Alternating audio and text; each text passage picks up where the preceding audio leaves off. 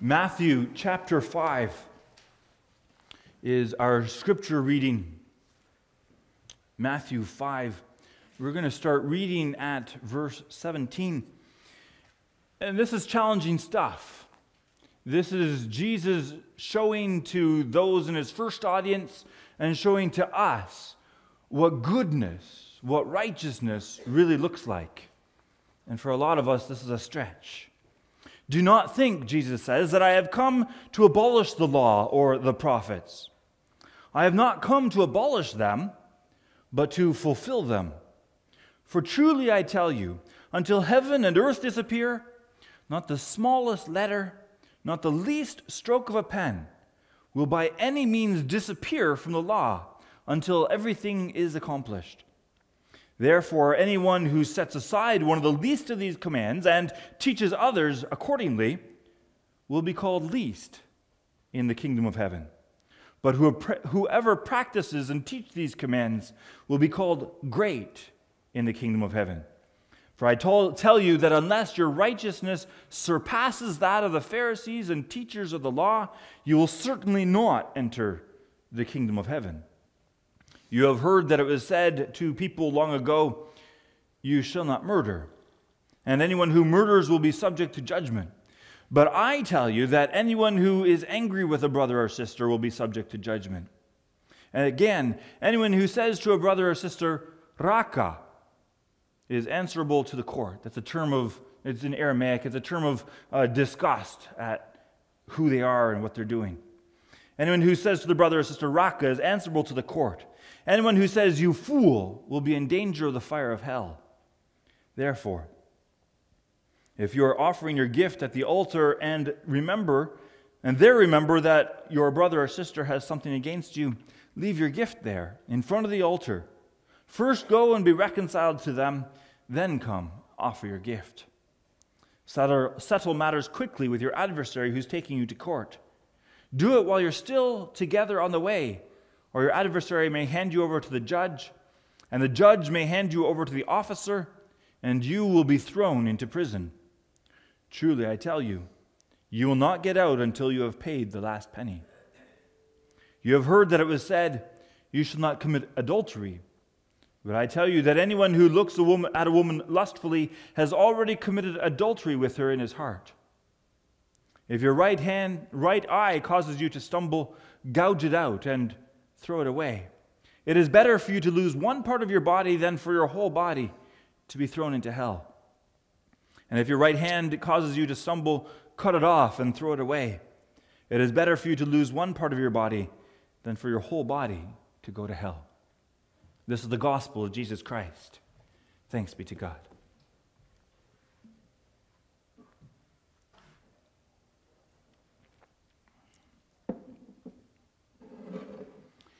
Dearly loved people of God, I read the Ten Commandments this morning. Don't always do it, like to do it from time to time.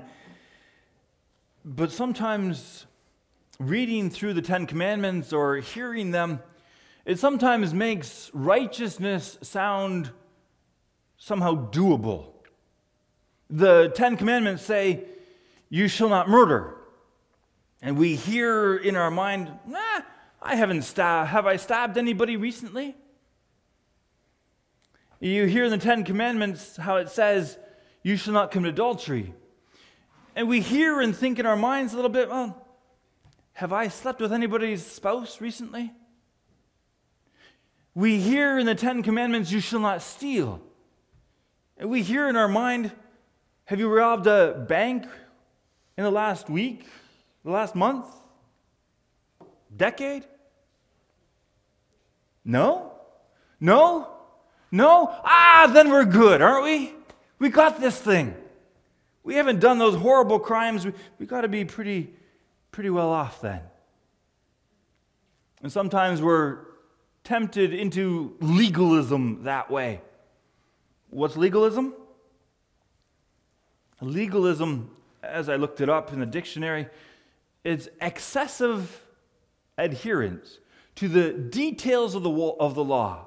It's getting overly tied up in the precise do's and don'ts of the law. Particularly in religion, legalism is an adherence to a moral law rather than personal religious faith.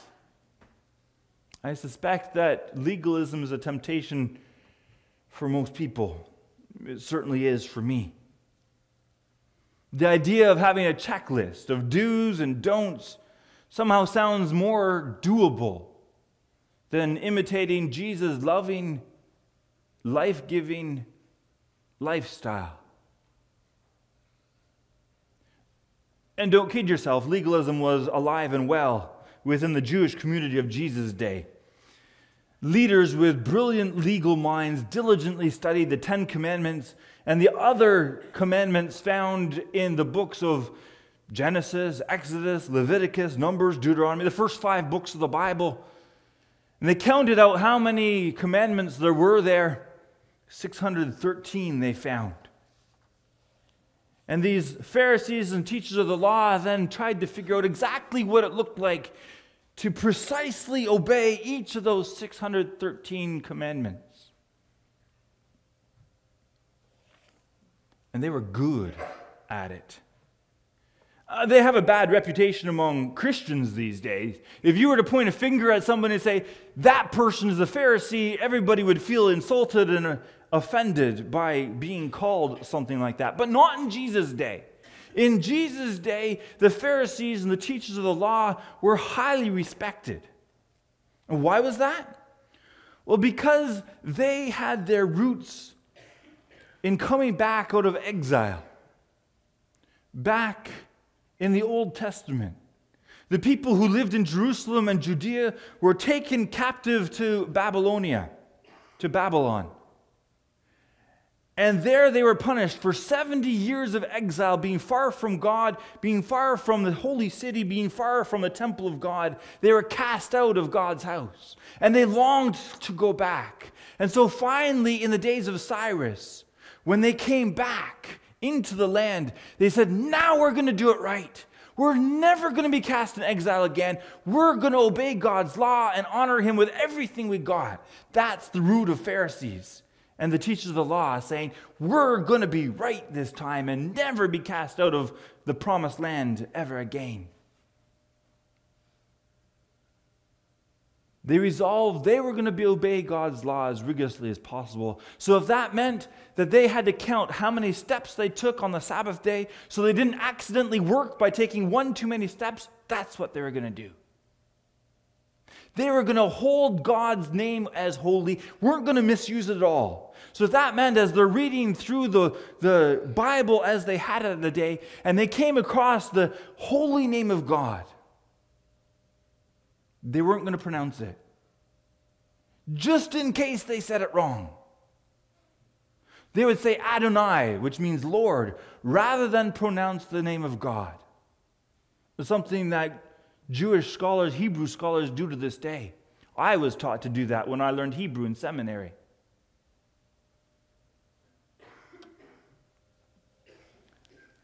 They were determined to be holy.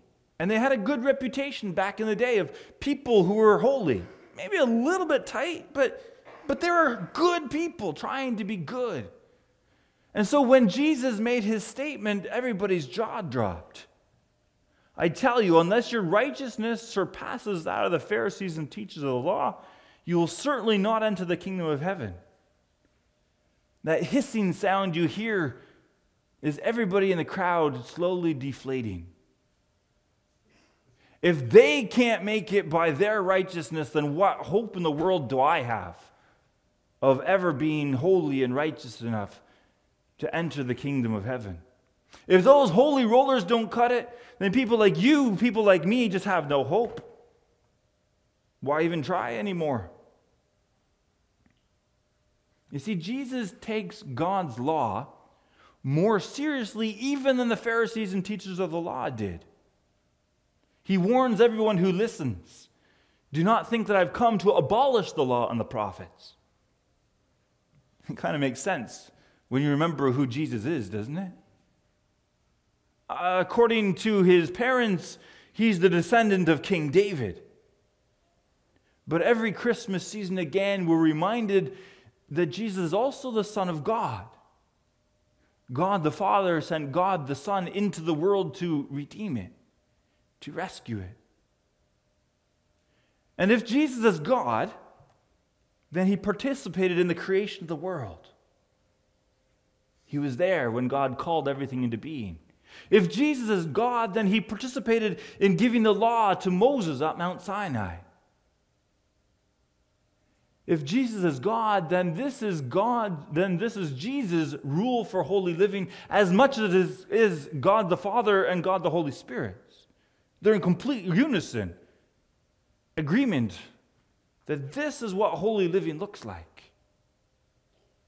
In fact, Jesus knows the intention, the purposes of each of these commands even more than the Pharisees and teachers of the law ever did. He understands the purposes, the reasons between, behind each of the 613 commands in the first five books of the Bible. So he's not about to be looking for loopholes. How can we get past this one? He's not going to look, like, look for shortcuts and say, well, that's kind of okay. It's fudging it a little bit, but it's okay. That's not what Jesus is going to do. This is his rule for holy living. And he explores the intentions of the law in the sermon here on the Mount. He reveals the benchmark for holy living is even higher than the Pharisees thought it was. It's even higher than we expected it is. I mean, most people agree that it's possible to murder a person with a knife. You put it the right place and twist it a little bit, they're dead. Jesus said it's also possible to murder a person with your words. I've done that. The first term, time I ever said the F word was in my parents' blue Chevy Malibu in the church parking lot at about 11:30 one Sunday morning when I was sitting in the car waiting for my parents to be done talking with their friends after church. And my sister got into the car beside me. I don't know what she did. Probably accused me of turning the car on. I probably did. But she made me so mad. She made me so angry that I found the most horrible, most deadly, most offensive word I could, and I threw that F bomb at her. I killed my sister with my words that day. Can you relate? Have you ever cut anybody to pieces with your words? What about with your eyes? I mean, you've heard the expression before if look could kill, I'd be dead right now. Have you ever stabbed anybody with a murderous glare? Is that murder? Or adultery? I've heard women describe what it looks like when a guy runs his eyes up and down her frame. If it's her husband and it's lovingly done, she can glow in his appreciation. But if it's a random guy thinking dirty thoughts, it feels like she's been violated, undressed, fondled with his eyes. He can protest innocence. I was just looking.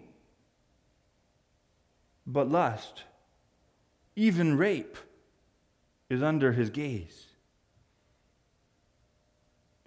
And this stuff's easy to fall into, isn't it? It's our sinful nature. After the fall, we can't escape sin and brokenness. It's beset all humankind. Even in our best days, we lapse into sin and brokenness. We don't measure up to the level of goodness required by the letter or by the spirit of God's law.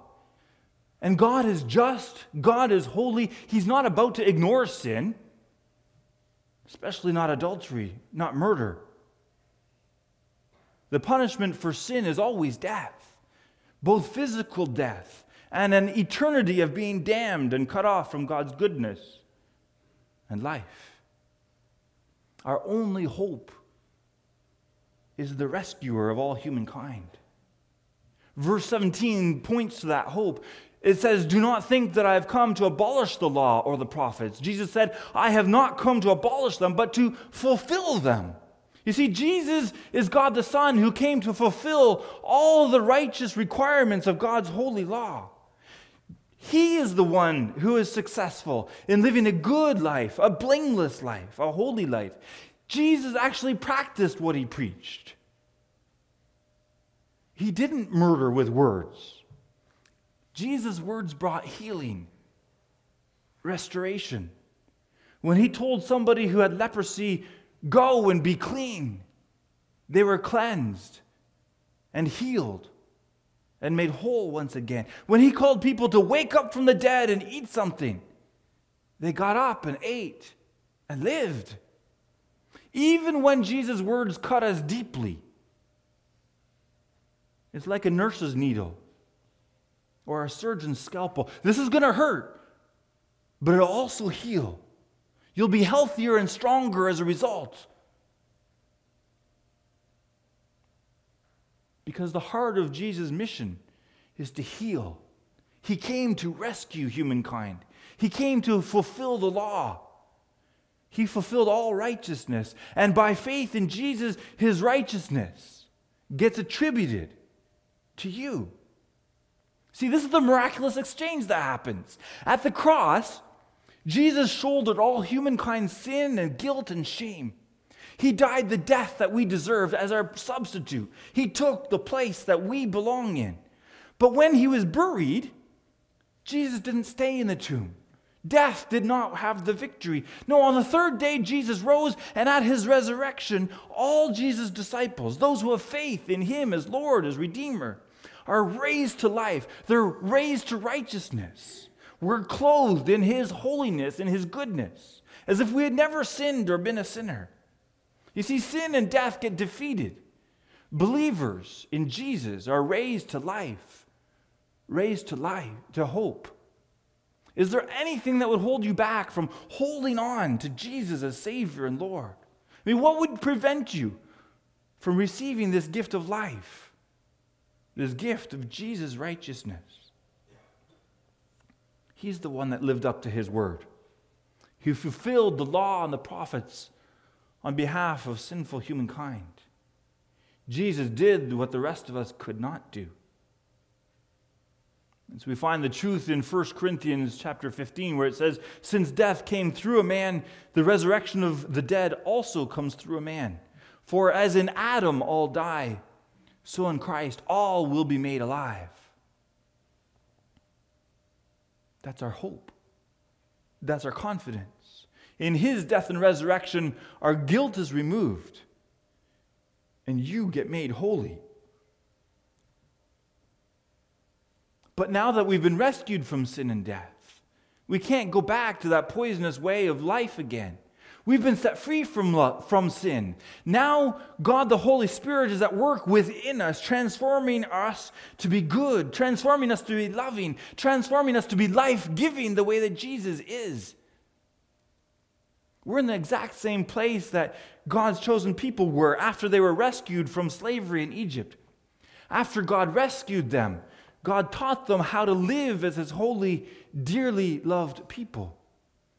He gave them instructions on goodness as they sat camped around Mount Sinai. That's when God the Father, Son, and Holy Spirit gave them the Ten Commandments through Moses and said, You want to live holy lives now? This is what it looks like. And today we hear those commands all over again as Jesus' instructions. How do you live? How do we live as God's holy and dearly loved people? And so Jesus says, well, if you're worshiping and you recall that somebody has something against you, you're called to, to leave worship and go and be reconciled to them. Insofar as you're able to, we're called to make peace with our brothers and sisters, to seek reconciliation, to ask for forgiveness, to offer forgiveness, to make things right between us again. And that's a challenging thing to do. It kills us to ask someone for forgiveness. You might need to pray fervently for the Holy Spirit to go with you, to lend you strength and boldness as you make that kind of a phone call, that, that kind of a visit. And it might take a mediator, a supporter from some other person that you know and trust among the believers. But we're called to be reconciled with each other. And then there's another part of what Jesus said that's also really radical. You remember how Jesus said that? If your right eye causes you to stumble, gouge it out and throw it away. It's better for you to lose one part of your body than for your whole body to throw, be thrown into hell. That's radical. If your right hand causes you to stumble, cut it off and throw it away. It's better for you to lose one part of your body than for your whole body to go to hell. I mean, Jesus' words cut us deeply. He uses strong imagery. But there's a guy I know, I got to know him through dog competitions. When he drinks red wine, it makes him aggressive. Aggressive with his words and with his fists.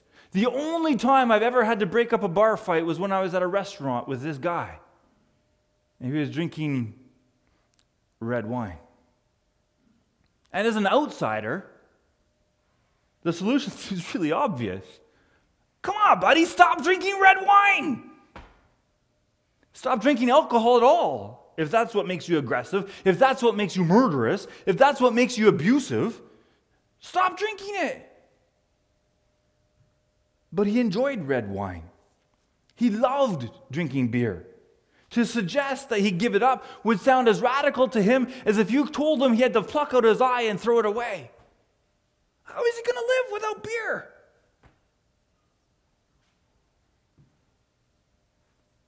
The same thing with computers or tablets or smartphones. Oh, we need them for work. I know, I know. We need them for communication. And for some, it, it feels like we can't live without this device. But if the games, if the images, if the scenes that play on the screens aren't healthy, if they're not loving, if they're not life giving, doesn't it make sense just to turn them off? Toss them out? Cancel the Wi Fi? Get rid of cable? I know. I know. Getting rid of your smartphone sounds like cutting off your right hand. But if that's the cost of living a holy life that brings life to the people around you, isn't it worth the cost rather than going down into those dirty, ugly, horrible places? If that's what it takes to live as God's holy and dearly loved child, isn't it worth it? I mean, you, we can live without red wine. We can live without screens. We can live even without our right hand or our right eye. Persisting in disobedience to God's law, though, that brings death. And Jesus has already suffered death on our behalf for the sins that we've committed. He's gone to hell for us.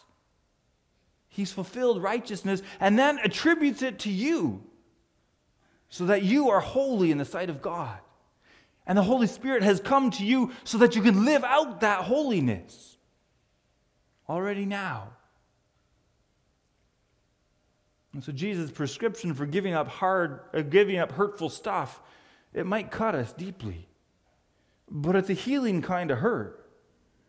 God, by His Word, by His Spirit, cuts away the stuff that's unhealthy so that you can live so that you can thrive, so that you can flourish and give life to other people. That's what it means to live as a follower of Jesus Christ, to live as a dearly loved child that God has made holy and righteous without stain or blemish.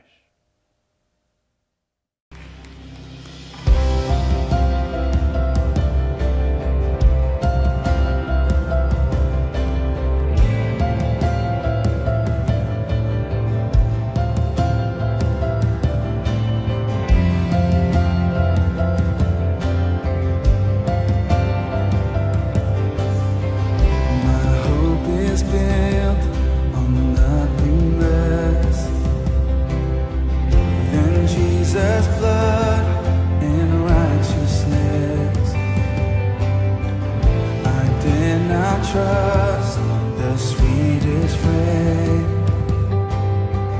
But wholly trust in Jesus' name. Come on, every voice.